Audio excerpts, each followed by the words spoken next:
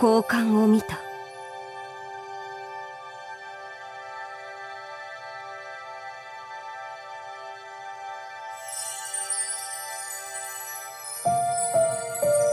宙に浮かぶ光の輪を。幾多の光のかけらが織りなす。天に続く白の階段を。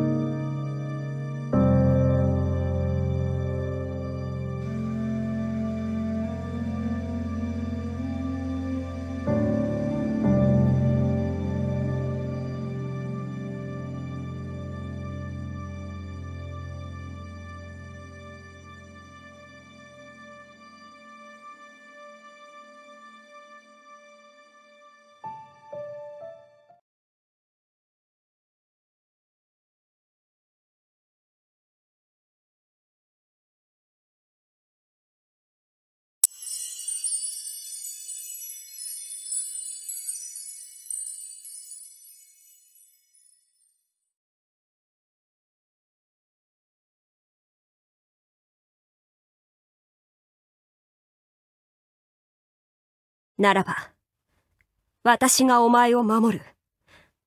お前だけは、決して死なせない。すべてが終わったら、行こう。約束だ。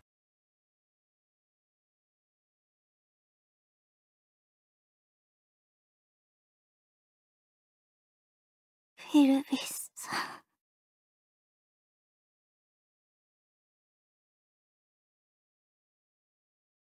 レフィアレフィアレフィアお願いだ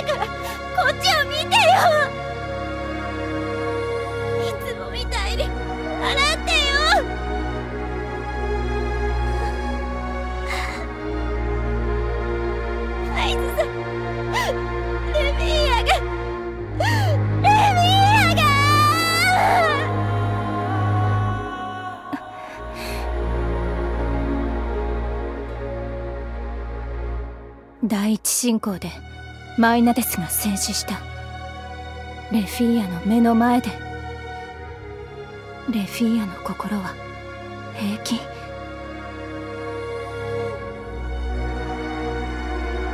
うん。大丈夫なわけがない。もしかしたらもうレフィーアは。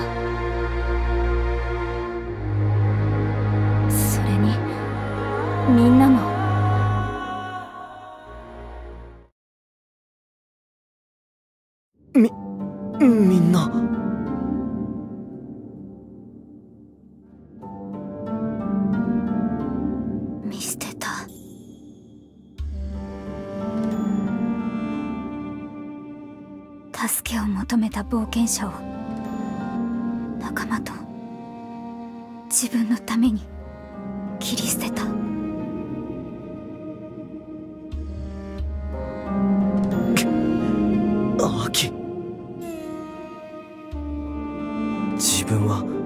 居合わせていなかった。デュオニューソス・ファミリアの惨劇にたくさんの犠牲に。そんな自分がみんなにかける言葉なんて。まだ腐ってんのかてめえらは。ベベートさん。ベートさんは平気なんすか？そのあのあんなことがあって。うじうじ言ってんじゃねえ。言いたいことがあるならはっきり言いやがれ。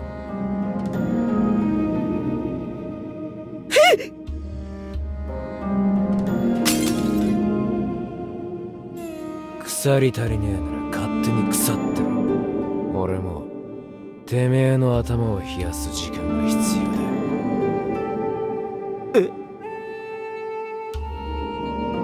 くだらねえ泣き言好きなだけほざいてろっつってんでその時が来るまでな。その時？腐って動けねえてめえらの代わりにフィンたちが動く。それまでに立ち直りやがれ。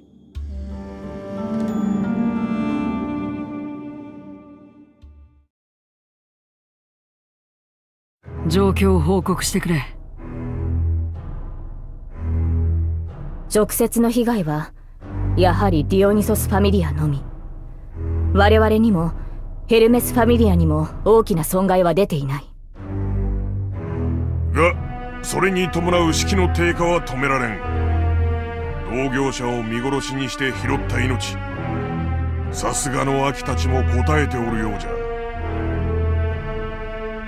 クノッソスの方は迷宮中を埋め尽くした緑肉の撤去をガネーシャ・ファミリア主導で行っておる。うちの団員にも連携させているが。思うように進行していない。緑肉が意志を持ったように襲いかかってくる。とのことだ。神ウラノス側例の明治とも連絡を取り合っているが何分混乱を極めていて全容をつかめておらんらしい。あちらの見解では精霊の奇跡に類するものらしいが。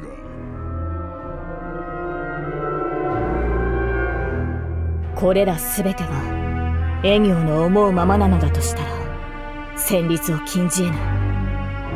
私たちは愚か。イビリスの残党さえ使い捨てた。敵はまさしく神の視点に立つものだ。お前は何を感じた？フィン。顔が見えなかった神タナトスの時でさえ感じられた指し手の表情。盤上を挟んだ先にある糸がかけらも。クノッソスを変貌させた祭壇発動のために正体は愚か情報さえ伏せていたのだとしたら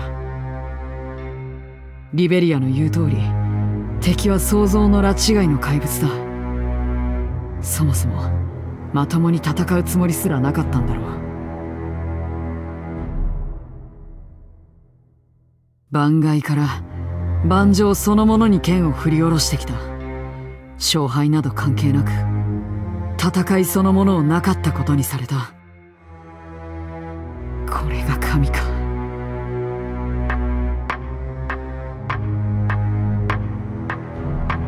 何にせよ切り替えるしかない。偽善に過ぎようとも払ってしまった犠牲に報いるためにも。僕たちが今やらなければならないのは恐怖も恐れも捨てもう一度エニオに挑みに行くことだ。分かっておる。そもそもわしらまでが腐っていればオラリオが吹き飛ぶことになるからな。やるしかあるまい。ああ。だが敵が祭壇でクノッソスを覆ったのは分かった。しかしそれでどうする？まだ籠城を続ける気か？神タナトスの気まぐれもあってエニオはわしらを仕留め損なった。それは確かじゃろうあれは間違いなく必殺の策だった。それが空振りに終わってなお沈黙を保つ。確かに違和感があるな。フィンが懸念していたデミスピリットの地上召喚。その気配もない。敵は亀を気取るつもりか？あるいはまだ切り札があるかだ。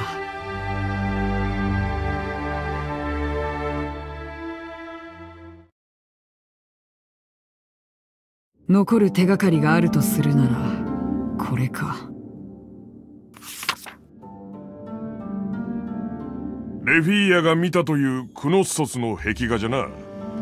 確かニーズホックだったか。中心にいる竜の正体は。神タナトスの話を信じるなら文献は少なかったけれどこの竜については調べてみた。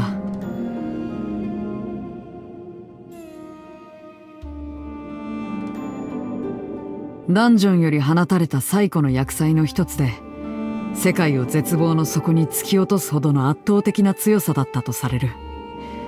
どうやって討伐されたのかはどの文献にも詳しく記されていなかった。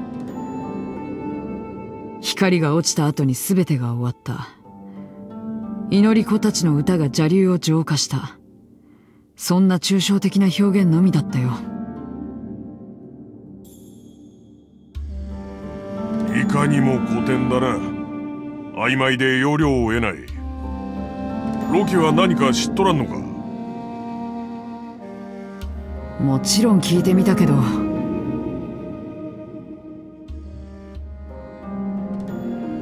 ああそれ。うちもよう知らん。下界がやばいって展開がざわつき始めたばっかりのことやったし。うちは暇つぶしのために色々荒れとったからな。どっかの神が勝手に介入してぶっ飛ばしたらしいけど。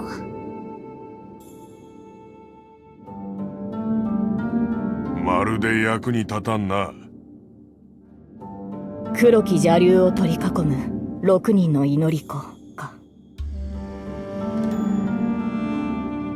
66か。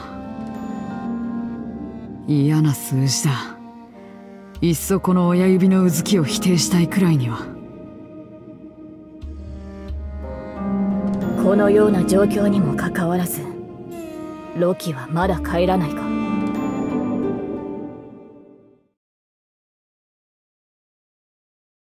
正気かロキ。正気も正気や。今話した通りこれ以外のエニョの正体が思いつかん。その推理に至った材料は口にすると笑ってしまいそうになるが決定的な証拠はあるのかい？相馬それ貸せ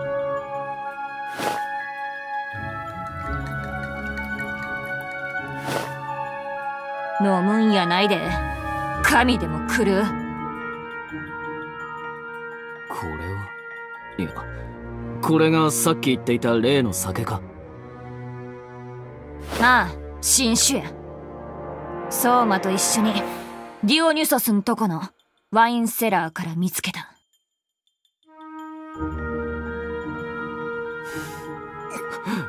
香るだけでこれかこれならば神も完全に酔わせる。俺が保証する。確証はない。ロキの推理も穴だらけ。しかしこの酒ならば確かにそれなら。わかった。俺もロキの考えに乗る。というよりあなたが見つけ出したピースを元に考え直すしかない。で俺にしてほしいことは？まさか自分の推理を聞かせるためだけにここへ足を運んだわけじゃないだろガサイレアうちらの考えがあっとるか裏付ける必要がある。おっしゃる通り。動いてみようロキが求める答えを探しに。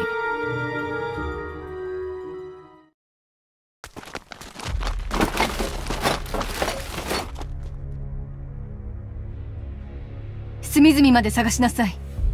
後の責任はギルドとヘルメス様に押し付けます。ダメだアスピー。もぬけの体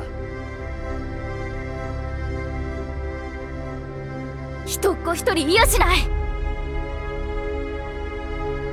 アスピー床下空間があるぞ。隠されてる。地下室。階段を見つけなさい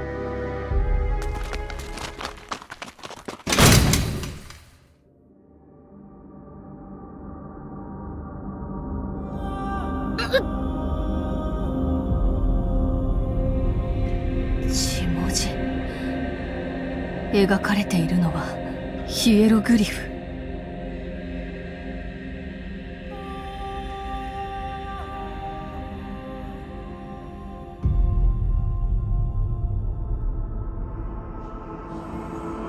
デメテルファミリア。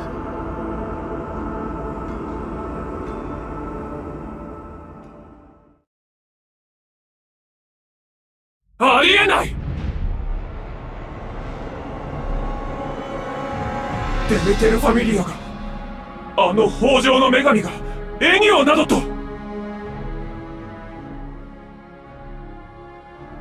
神デメテルはゼウスやヘラと同じくこの都市を支えてきた前身だ。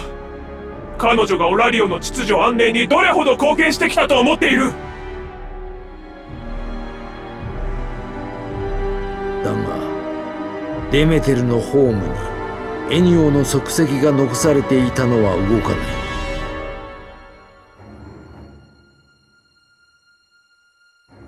付け加えればデメテルは都市の内外を自由に行き来できる神の一人でもある。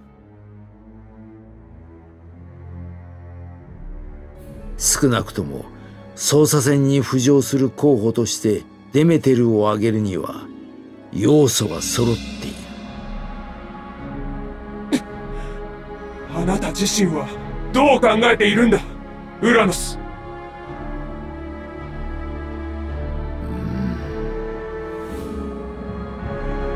もしもし私が考えている通りならやはりデメテルの所在は突き止めねばならない。一刻も早く手遅れになる前に分かった。ウラノス。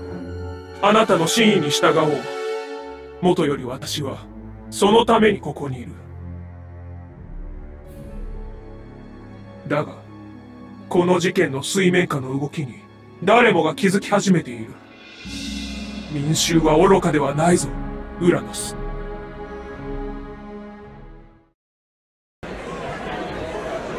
神様が創刊された。かも二柱も。ギルドは小規模の構想があったって言ってたけどどこの神様が天に帰られたのか発表していないわ。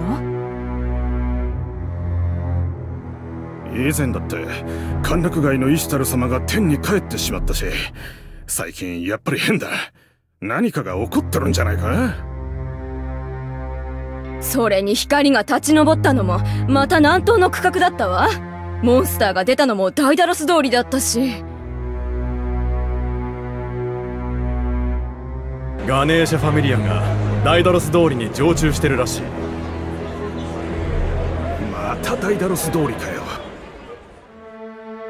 機能してるのは門営くらいで他の場所じゃ最低限の憲兵しか見ないぜ。ロキファミリアも慌ただしいって話だ地上に進出したモンスターを討伐し終えたってのは嘘で実はまだ生き残りがいるんじゃねえか？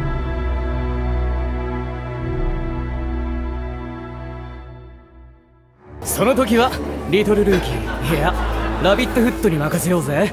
今度こそミノタウルスをぶっ潰してもらうんだ。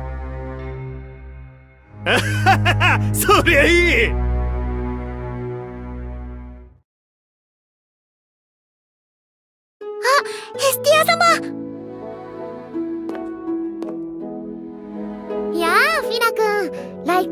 イ君もルー君も今日もジャガマル君持ってきたぜ。あ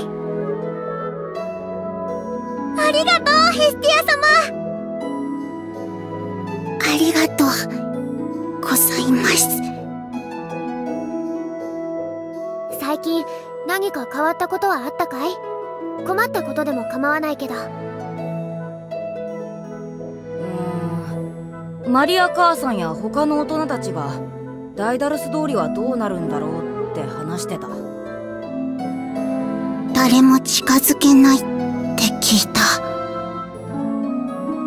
私たちいつ帰れるのかな？あそういえばさっきまでロキ様がここにいたよ。ロキが？うん。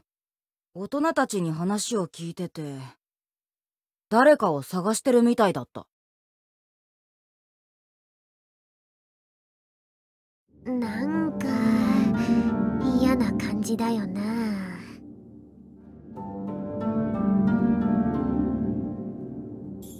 僕たちの知らないところで何かが動いてる。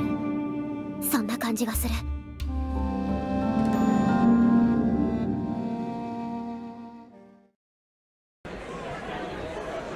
ざわついてるわね。いつものオラリオとは違う。まあんたたちが地上に出てきた時の方がよっぽどひどかったけど。あの時は本当にご迷惑をおかけしました。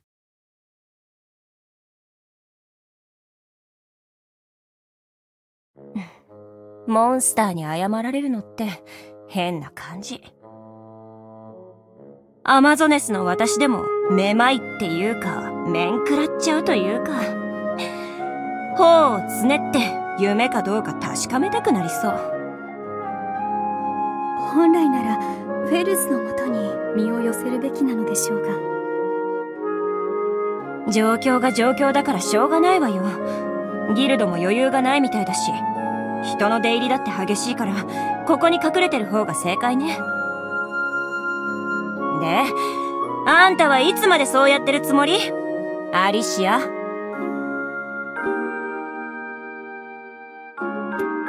ィオネ。顔を上げたかと思えばすぐに床とにらめっこして。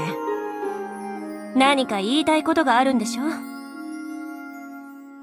私は。まったくなら私が先に用を済ませちゃうわよ。あんたのおかげで私が愛してる人は助かった。礼を言わせて。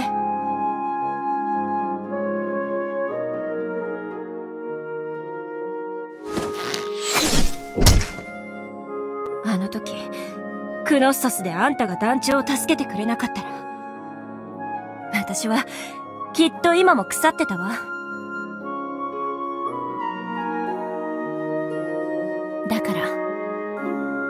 本当にありがとう。ティオネさん。ベルさんたち以外に人に感謝されるなんて。私たちは少しずつ前に進めているのかもしれません。リドグロス。でも団長に惚れたら潰すわ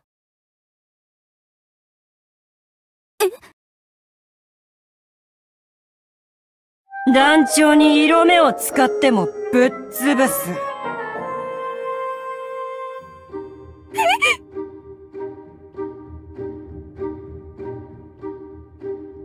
あんたモンスターのくせに顔がいい。胸だってあるし、もし恩に着せて団長を誘惑でもしたら、そんなことはしません。むしろ私が一緒になりたい殿方は決まっていて、とても優しくて勇敢で笑顔が可愛い。ベ、ベ、ベ、ベルシャン。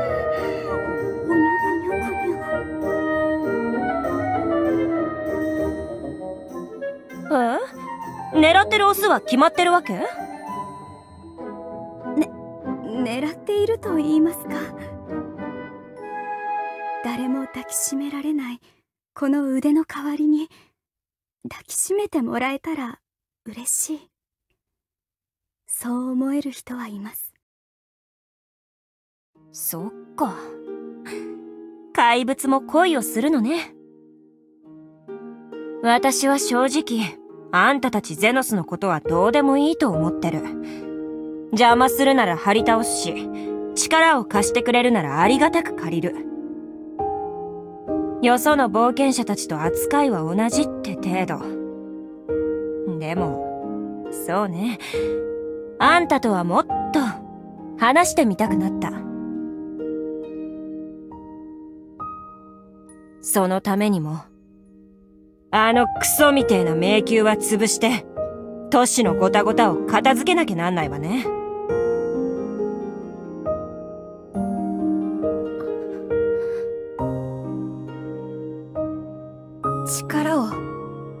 してくれますか？もちろん。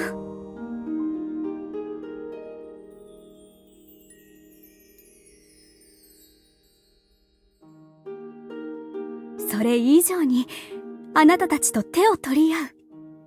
そんな日を私たちは夢見ているのですから。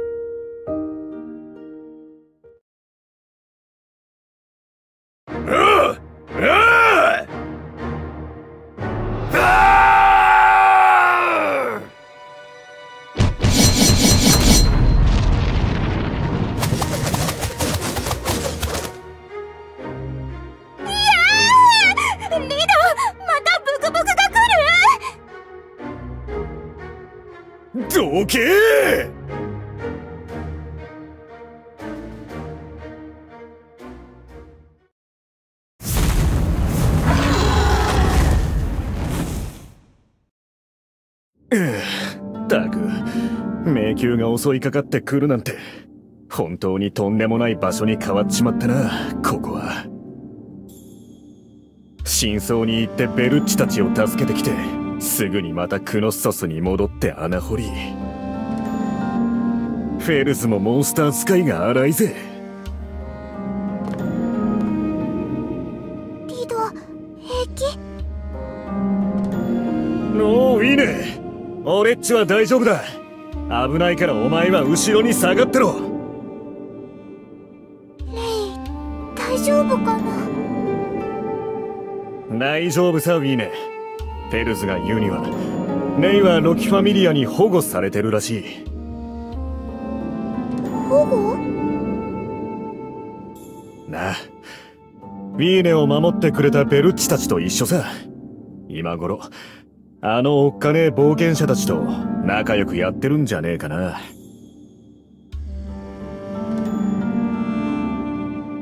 話はそこまでにしておけ。この気色悪い肉はどこまでも続いている。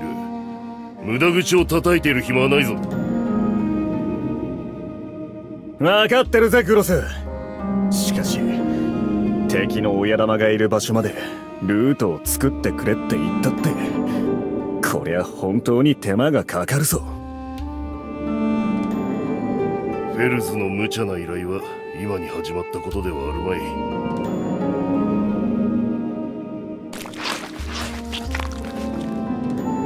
けど。最初の時より肉の抵抗が弱くなってるよな。ああ間違いない。最初はさらに苛烈で犠牲も出かけた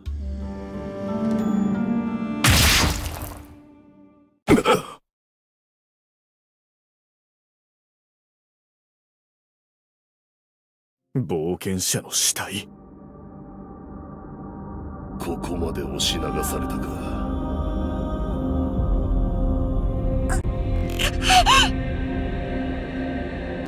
フェルスの予想通りこの肉は取り込んだ冒険者を養分に変えているようだな。魔力のかけらさえ残ってい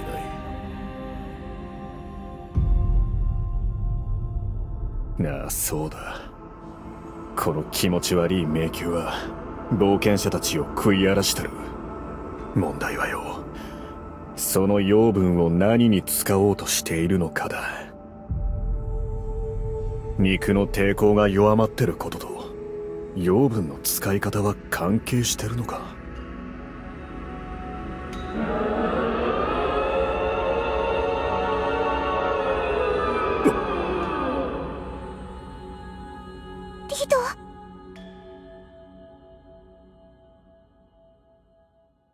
何をしている？離れろ！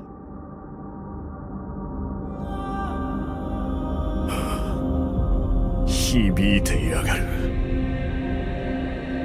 何かが。響いてやがる。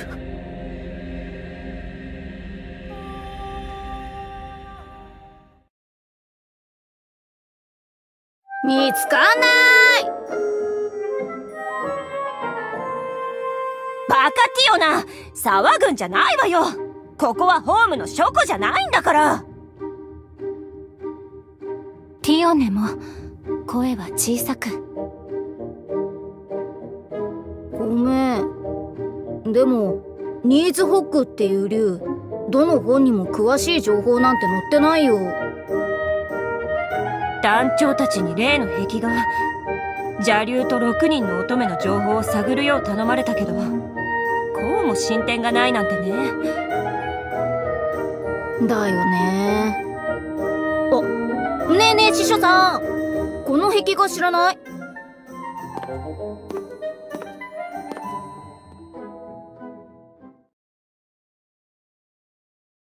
やっぱりノームの師匠さんも知らないって。ナルビーたちの方は何か見つかった？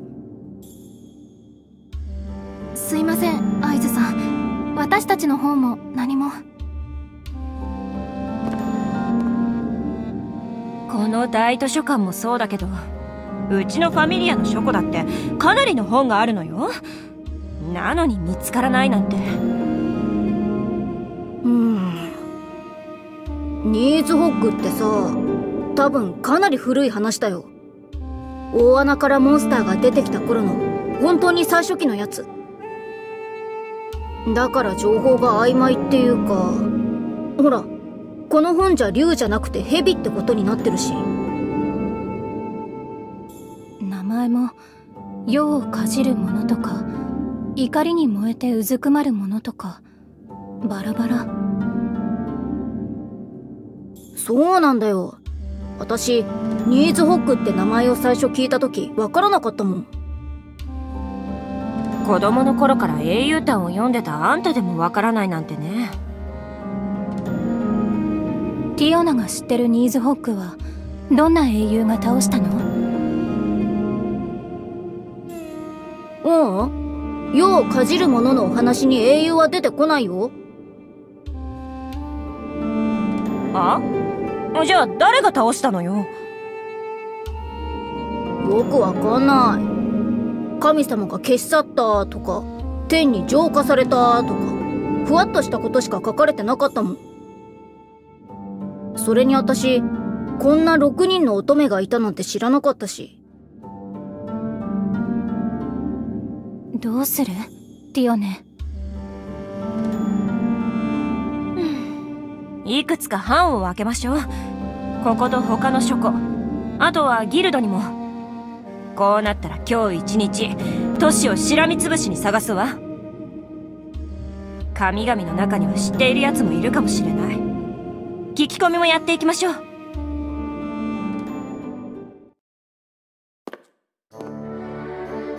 早く早く合図ティオネ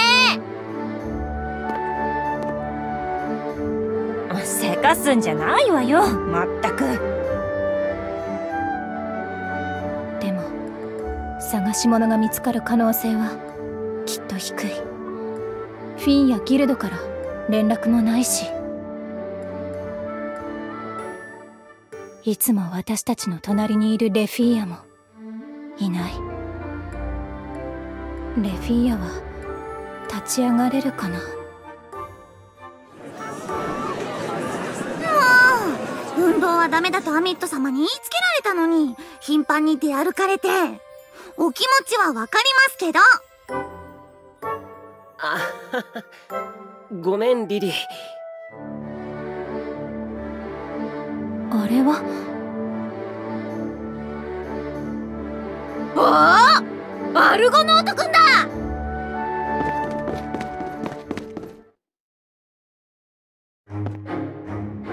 ティオナさんティオネさん。それにアイズさんこんなところで会うなんてすごい偶然だね。アルゴノート君は何してるの？えっとダンジョンから帰ってきて歩けるようになったので散歩ちょっとちょっとベル様は一応怪我人なんですよ。まとわりつかないでくださ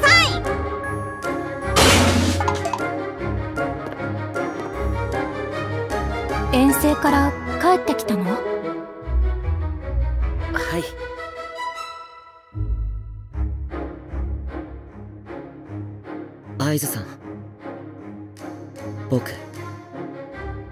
強くなりたいです。あれからもう4週間くらい。また強くなったんだね。あそうだ。アルゴノート君この絵について何か知らない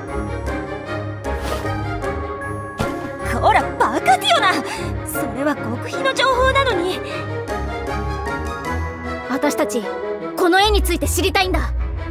アルゴノート君英雄譚にすっごい詳しいよね。ニーズホックって言うんだけど。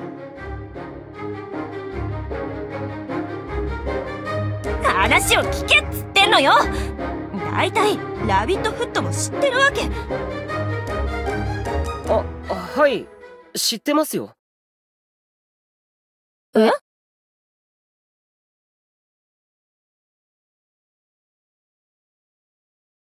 おじいちゃんが見せてくれたおとぎ話で読んだことがあります 懐かしいな。邪竜ニーズホックを滅ぼした精霊の六円館ですよね。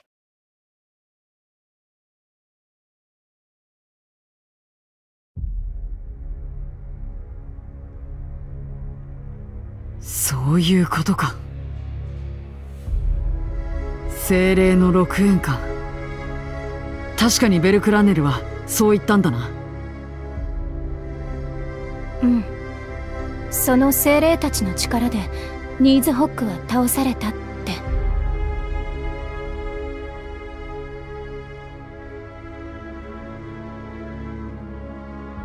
ニーズホックのお話には英雄は出ません。代わりに神様に使わされた6人の大精霊が登場するんです強力な結界で竜を封じて歌を紡いだ。あこれは多分栄唱だと思うんですけど。最後に大秘術が発動して凶悪な竜は葬められた。僕の読んだおとぎ話にはそう書いてありました。それじゃあこの絵の乙女は竜の生贄でも祈り子でもなくて。はいこれは円環の歌を紡いで邪竜を消滅させた最古の六精霊だと思います。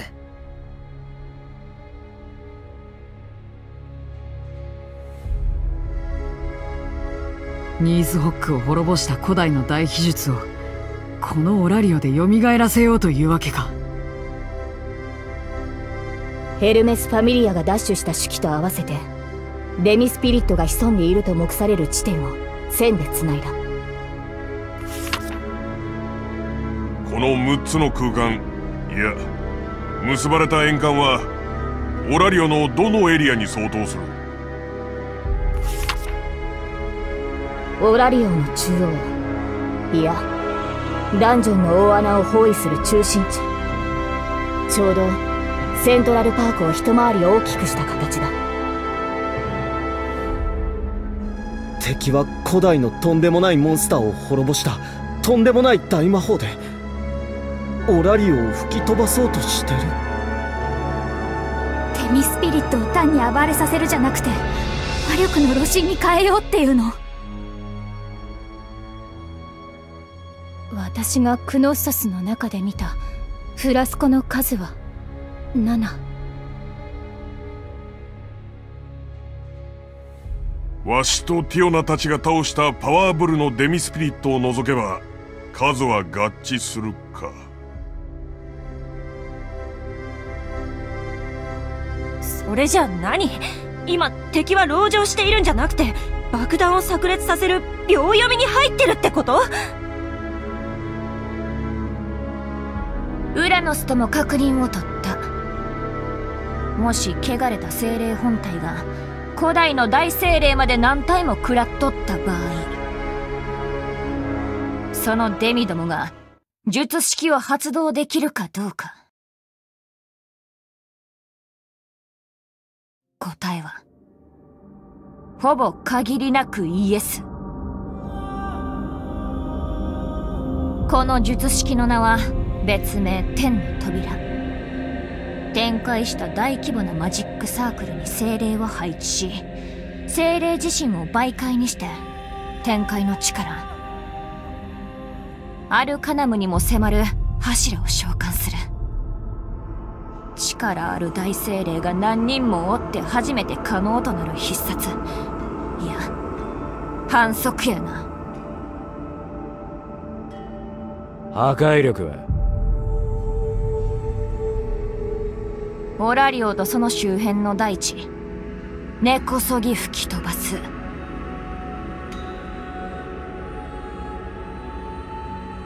都市を崩壊させるどころじゃない。敵はオラリオを消滅させるつもりだ。ニーズホックの時のように観測者語り部に至るまでそれこそ正確なおとぎ話すら残らないほど。今度こそ今度こそオラリオの方かよ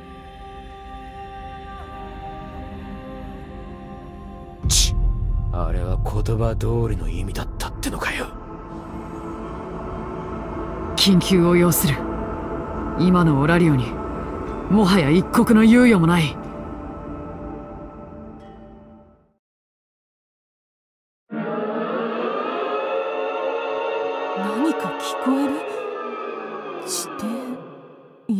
ダンジョンから？これは歌？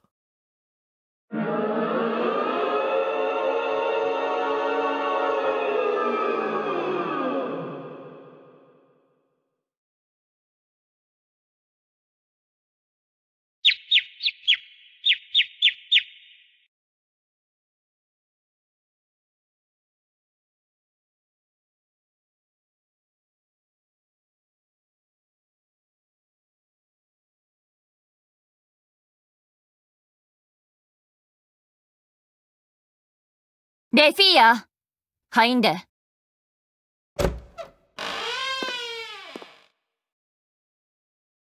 自分の今の気持ちは、わかる。今から自分にとって酷なことも言う。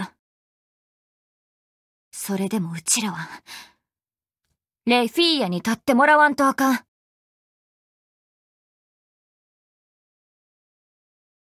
自分の前でディオニソスの眷属を殺した仮面の人物についてや。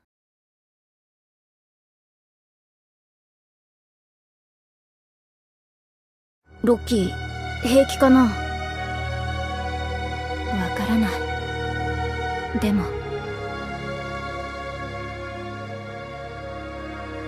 あの魔境を攻略するには、レフィーヤの力が必要や。ロキを信じるしかない。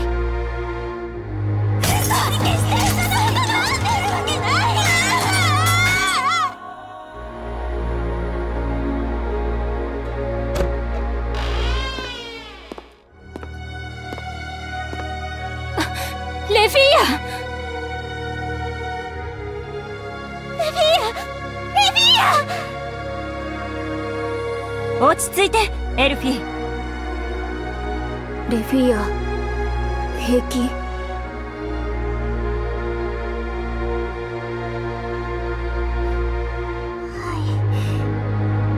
心配をおかけしました。レフィーヤ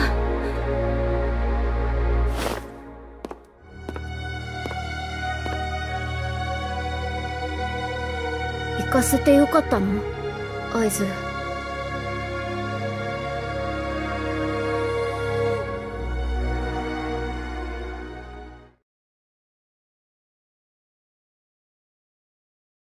敵の目論みが、まさか大精霊の秘術とは。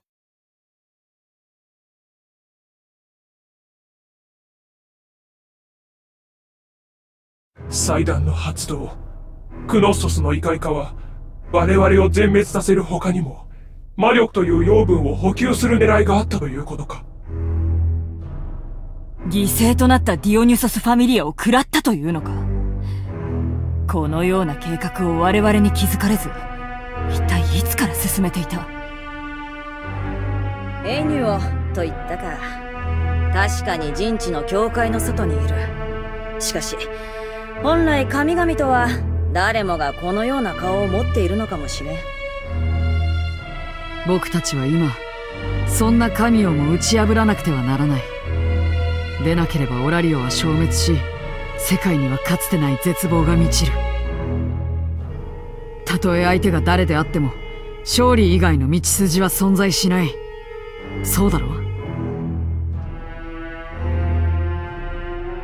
先ほども言った通りデミスピリット都市崩壊を進めるための路線は6箇所これを全て破壊する。化け物がいる実相のお広間を同時に攻撃する。ということか？それはまた随分と思い切った作戦だな。もう小細工をする段階はとっくに過ぎた。勝負に出なければ勝つことはできない。待ってくれ。6体いる精霊のうちどれか一つでも栄唱の供給源を断てば大秘術は発動しないのでは。いやかけたとしても別の精霊がそれまでの栄唱を引き継ぐ。時間稼ぎにはなるだろうが最後の一匹を倒さない限り術式は解除されない。ウラノスたちに確認済みだ。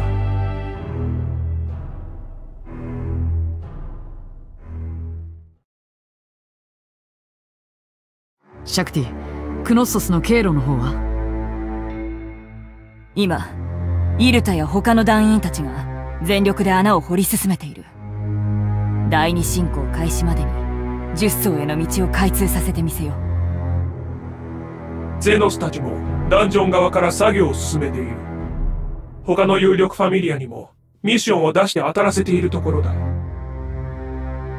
よその派閥も怪物どもも手を取り合ってということか。この一丸となる感じ。不思議と高揚感があるな焦燥の間違いだろう。笑っているな椿。作戦の詳細に移る。まず第二進行開始とともにガネーシャヘファイストスそして僕たちロキファミリアは地上及びダンジョンからクノストスへ侵入する。こちらから編成する部隊は5つ。本隊となる第一部隊は僕が指揮する。それから順にリベリアとアイズの第2ガレスの第3ティオナとティオネの第4ベートの第5部隊第2級冒険者以下の団員も各部隊に配備。そして他のファミリアもここに戦力を振ってもらう。なるほど。ロキファミリアの戦力を5等分した部隊に手前たちも名を連ねるというわけだな。ああ椿君はガレスの部隊に。シャクティは僕のもとへ。他の第一級冒険者は待てフィン。我々が討伐するデミスピリットは6体。今お前が挙げた部隊の数では足りない。どうするつもりだ？ゼノスがやる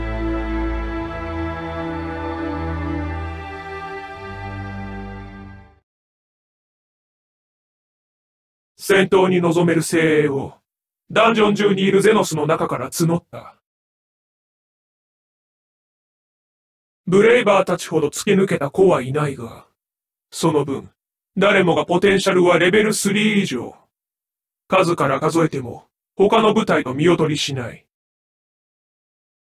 君たちが毒を飲み干せるというのなら、どうか彼らを信じてほしい。今は化け物の手も借りたいところよ。手前に依存はない。それにベル吉。元同僚にも聞いた。猫のように人に心を許している珍妙な化け物どもがおると。あやつらが信じるというのならならば手前も信じようではないか。キュクロス。そもそも襟好みできる局面ではないのだ。せいぜい取った手を振り回させてもらうとしよう。そうであろうお主らああそれがガネーシャの意志だ。僕は元より反対していないよ。ありがとう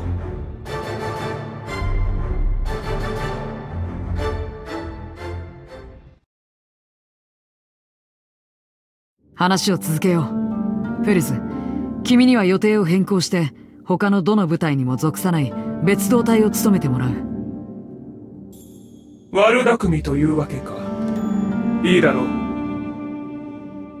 他にもラウルを中心に非戦闘部隊をいくつか設ける。緊急時には各部隊の援軍に向かわせるが過度な期待はしないでくれ。あくまでこの6部隊でやるべきことをやりきる各隊には連絡用のオクルスも持たせる。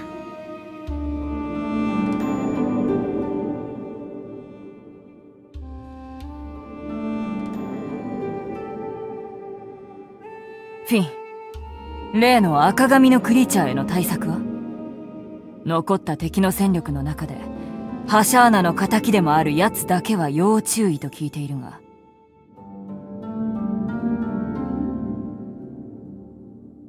敵の作戦は終盤に至っている。精霊の番人を気取る意味はもはやない。あのクリーチャーは十中八九。合図一人に目標を絞るだろう。ではヘルメス・ファミリアはどうした？あやつらも作戦に加わるのだろう？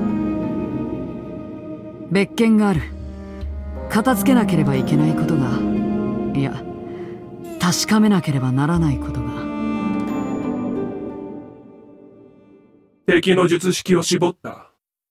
モンスターに落ちたことで元の6円間とも差異が出てくるだろうが。タイムリミットは今夜。都市民の避難は間に合わない。むしろ都市外への誘導は余計な混乱を招くだろう。治安維持や避難誘導に避ける戦力もまたない。混乱を招くくらいならいっそ何もなかったことにした方がいいだろう。誰も何も知らないうちに終わらせると。失敗すれば罪なき民の命が全て失われるぞ。ガネーシャの眷属。フィンが先ほど語った通り元より我々の敗北はダンジョンの復活。ひいてはこの下界の危機を意味する。負けた先にはせっかく逃がした命もむしり取られるだろう。シャクティがそう判断したなら僕は彼女の意見を尊重したい。人知れず都市を救おうじゃないか。僕たち冒険者はそれくらいがちょうどいい。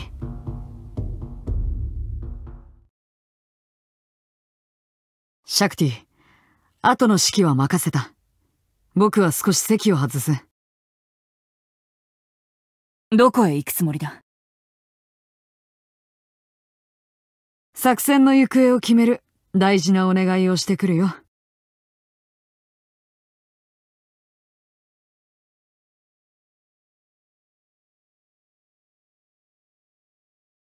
ブレイバーたちの作戦が決定したそうです今夜全軍をもって総攻撃。だろ？そりゃそうだ。それしかない。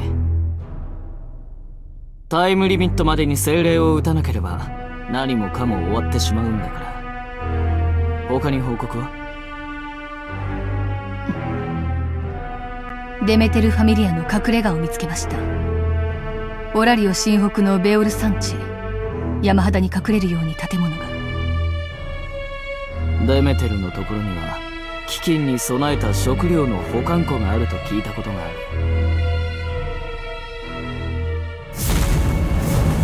7年前の大抗争の際に使った保管庫とは違う拠点か。どちらにせよ身を隠すとしたらそこしかなさそうだな。ホーム捜索の際神デメテルの他に団員たちも姿を消していました。あの施設ならば戦力を隠し籠城することも可能かと。アスフィ何ですか？怒らせると怖い北条の女神は冥府に近い迷宮の奥かそれとも終わりの時を見渡せる地上にいるかどちらだと思う？知りません。ですがどちらにしても突入して調べるしかないでしょう。そりゃそうだ。隠れ家の方は俺も同行する。指示があるまで動くなとローリエたちに伝えておいてくれ。わかりました。報告はこれで終わりか？なら今度はこっちの用事だ。お使いを頼まれてくれ。これ以上の仕事は私も過労死する自信がありますが。この戦いに負けたら遅かれ早かれ死ぬ。我慢してくれ。この手紙を指定されている場所に届けてくれ。これは？仕込みさ。戦いの勝率を少しでも上げるための。あとは都市門を開放しておいてくれ。都市門どういうことですか？一般人の避難は間に合わないとガネーシャファミリアは判断しています。今解放しても。後々必要になるさアスフィーがうまくやってくれればな。トリックスターを主に持つと本当に苦労します俺はにわかさ。分かってるだろ？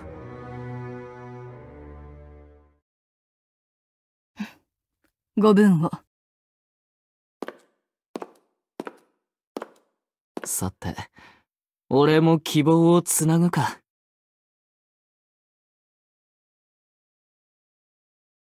もっとポーションを用意しろ！しみす。るな人様を説得して負けたら終わりです。急いでやあアミッドちゃん。何かご用ですかヘルメス様。ご覧の通り私どもは多忙を極めているのですが。釣れないこと言わないでくれよ。その格好君もクノッソスの攻略作戦に参加するのかい？当然です。前回の進行に引き続き責務を放り出すことはいたしません今度はファミリア全体でロキファミリアや他の皆様を癒し支えます。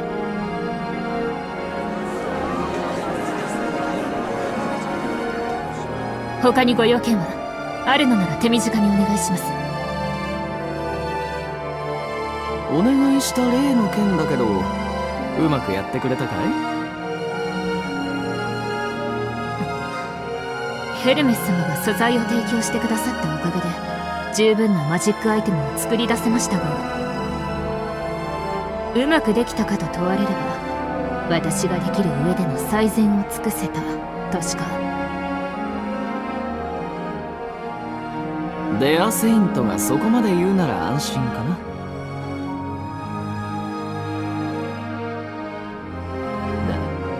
経過は？上々ですが何かそれはよかった。ヘルメス様何を考えられているのですか？何がだい？俺はただ君へ出した依頼について尋ねただけじゃないか。巻き込もうというのですか？私はヒーラーとして最後まで反対します。いいえ止めさせて。アミットちゃん？俺はねもう手段を選ぶつもりはないんだ。君も言っただろできうる全てのことに尽くすと。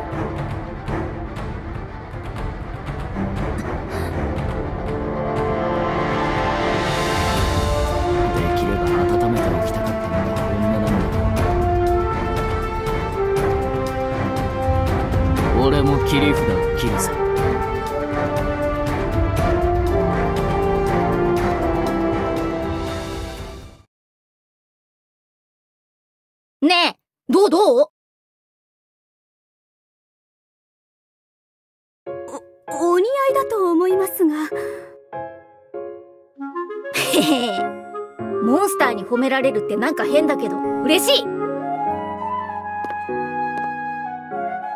何バカなこと言ってんのよあんたは。いいじゃんせっかく新しいバトルクロス作ってもらったんだからさだからって溶け込みすぎよ。アリシアほどカタクナなのも面倒だけど。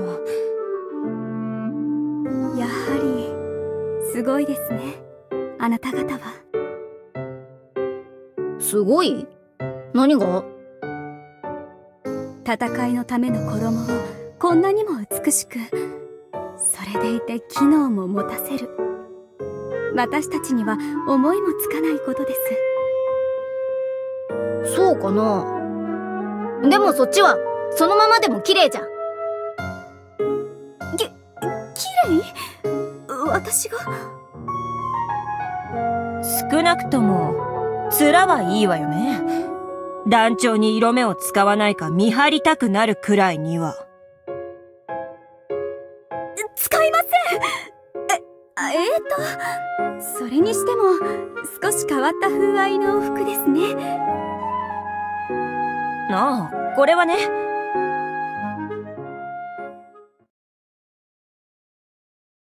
アンチ・カースの装備か。はいディアンケヒトファミリア謹製のバトルクロスです。アミッドさんが忙しい中、生産に協力してくれました。もうイビリスの残党はいないそうですけど、カースウェポンを取り込んで、呪いの力を使ってくる敵が現れるかもしれませんから。てめえが最近、あそこに出入りしてたのが、こいつが原因だったのかよ。あ私は、ちょっとだけお手伝いしただけなので。それに、体に不治の呪いを受けて、少しだけカースの知見もできましたから。ザクはザコなりに使い道ができたってわけだ。が助けてくれたおかげです。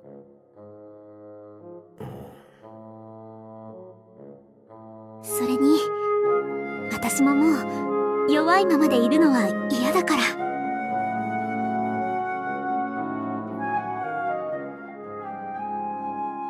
アミットさんを見ていて思ったんです。彼女はレベル2でありながら、都市最高のヒーラー。私も、あの人みたいに、うん、すべては癒せなくとも、大切な人たちだけでも癒しきって、守れるようになればって。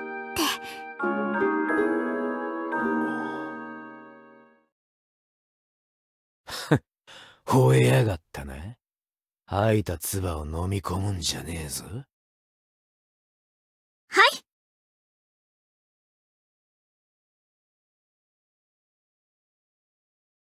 やれやれ、なんとか間に合ったか。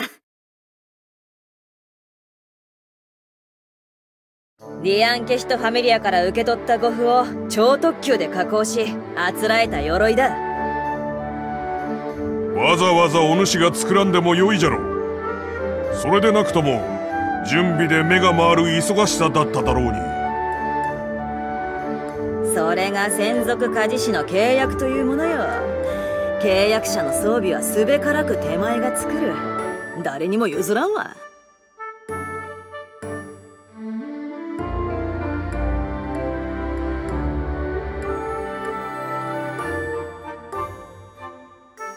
さらっと恐ろしいことを言うでないバカ者め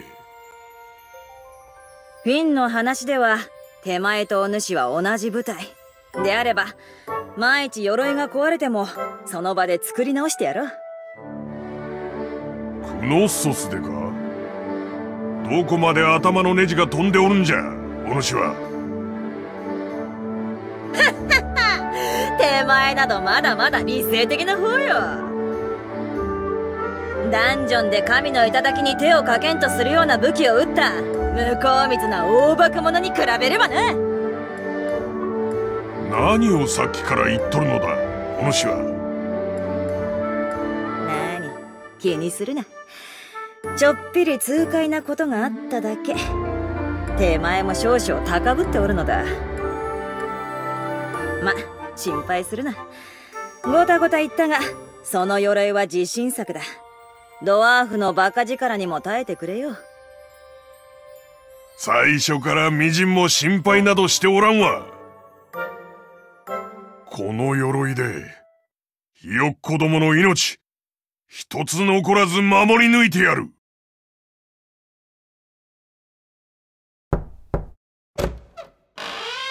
団長失礼します。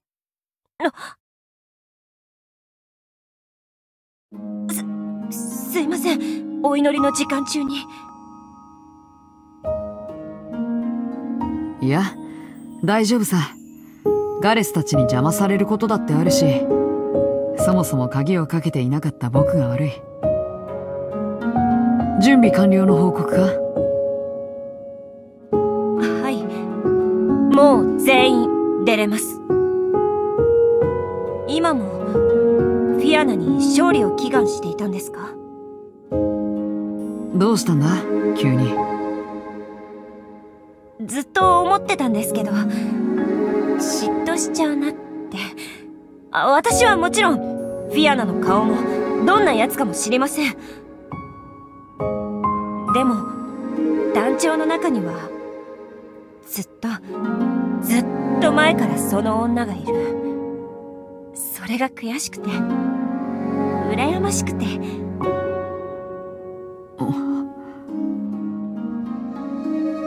だから聞きました。またフィアナにお祈りをしてたのかなって。いや。決別を告げていた。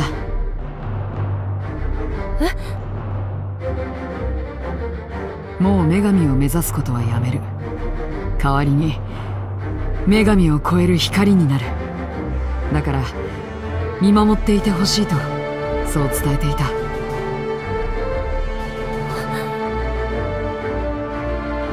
今の僕は嫌いか？ティオネいいえ。惚れ直しました。なら行くぞ。神に勝ちに行く。はい。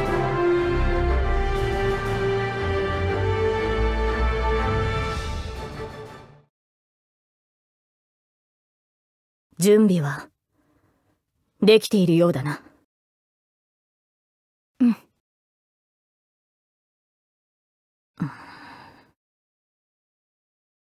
リベリア正直に言おう。私は今回お前にこの戦いから外れてもらうつもりだった。え？ゼノスと組むこと。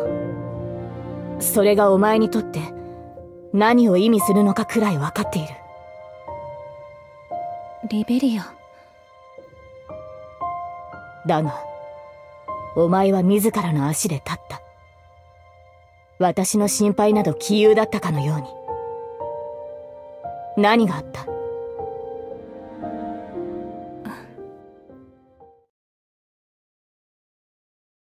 あの子に会ったからあの子は前に進み続けてる。いろんなものをたくさん抱えたまま。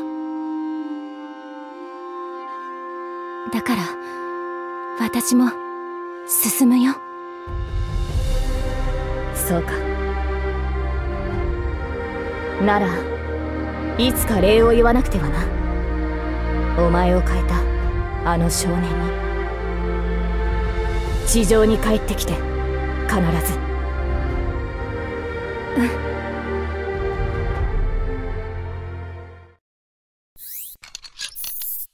私は。私は。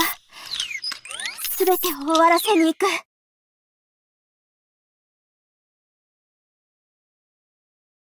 終わったでレフィアテータスの更新は完了。レベル4へのランクアップや。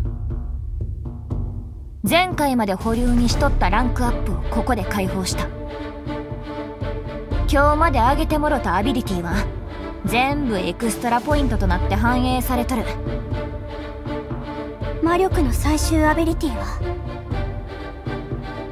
？S の960大したもんやそれからそいつをうちからのプレゼントや。ほんまやったらレフィーヤのレベル4ランクアップのお祝いにって温めとったもんやったんやけど。すまんな。こんな形で渡すことになってしもて。いえ。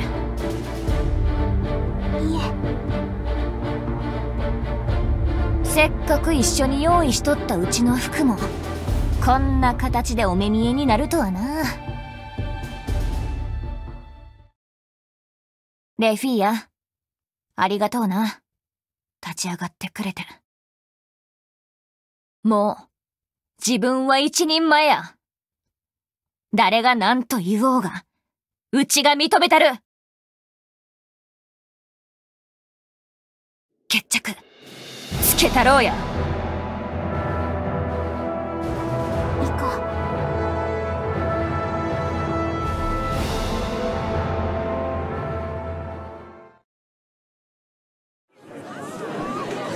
今こそだ。今こそだ姉じゃ。ハシャーナの仇を討ち都市の平和を守る。落ち着けイルタ。無理だな。そうだろかつての大抗争の時と同じだ。姉じゃ私は死なないぞ。自爆されようが戦い抜く。アーディたちの元に行くのはまだ早いあなたを一人になどさせないぞ。私はこれまでもこれからも都市を守る憲兵だ。バカ者。熱くなりすぎてつまずくなよ。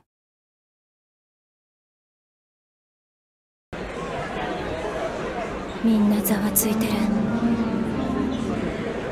決戦の前だ。当然そうなるだろう。でも私とリベリアフィンガレス以外みんなここにはいない。レフィーヤもいない。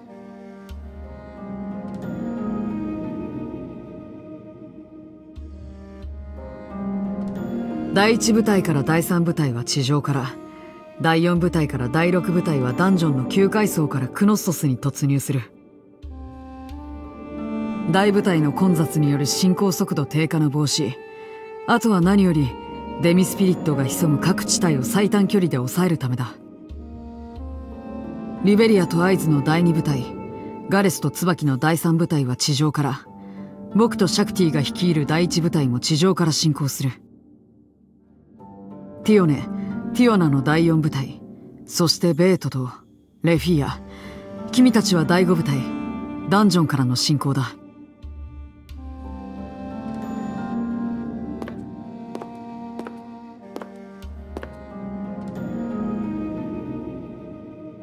レフィーヤも変わった。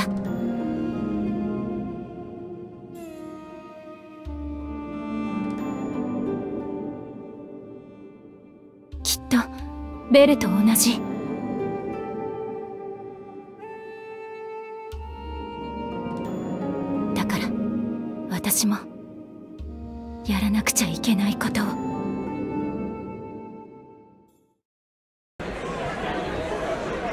てくれ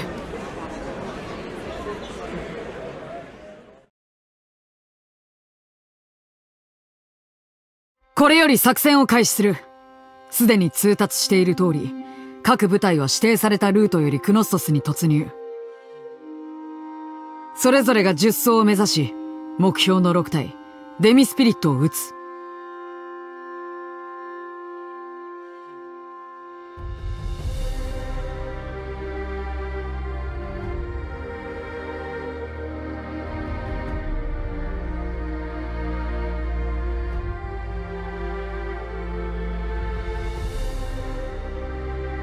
に言っておこう。この戦いに富はなく名誉もない。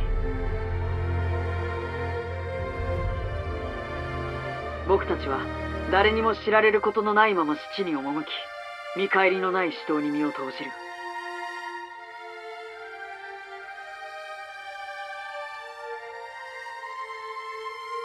ここで散った者はその勇姿を知られないまま名を墓標に刻むだろう。ディオニソス・ファミリアのように。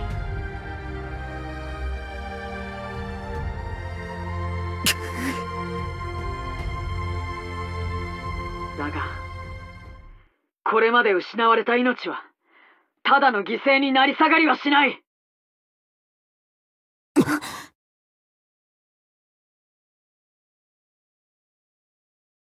これから散りゆく命でさえも決して犬死になどと呼ばせはしない。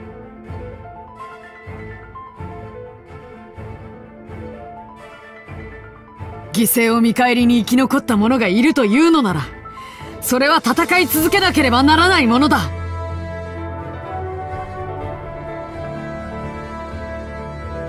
終焉たる死と引き換えにさらなる過酷を強いられた戦士たちだ。僕たちはこの命をもって失われた命の意味を証明しなければならない。食材などない断罪すらありはしない。そんなものを望む者が冒険者にいるものか。彼らの願いはただ一つ。ふざけたクソ野郎に吠え面をかかせろ。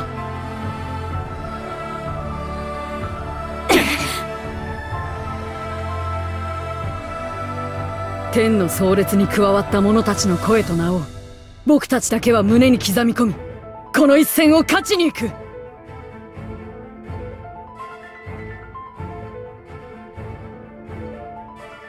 今歴史は繰り返されようとしている。他ならない僕たちの手で。世界を脅かす破滅に抗い人類を守り抜いた過去の英雄たちのように。これは語り継がれることのない物語。この戦いに富はなく名誉もなく。故に僕たちは名前のない英雄となりこの世界を救う。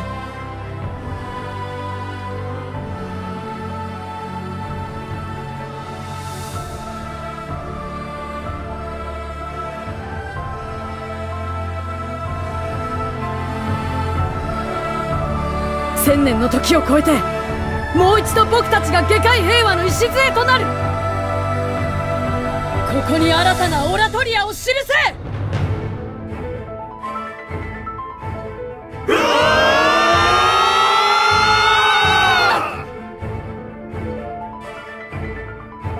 行こう。全てを終わらせるために。作戦を開始する。目標は魔城クノッソス。